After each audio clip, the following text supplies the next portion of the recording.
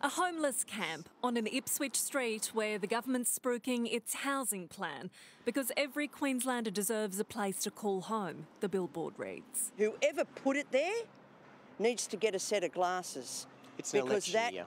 This is is what it's about. horrendous. The government sent in support workers today after the sign caused a stir. Those individuals have been offered alternative housing just as recently as February. It's a stark reminder uh, in flashing lights of a government that's got the wrong priorities. Goodna Street Life says money spent on advertising could have fed the homeless. Somebody should get over there with a whitewash and show it over. The billboard was funded by the local MP, and the government says it isn't taking money away from homelessness support services.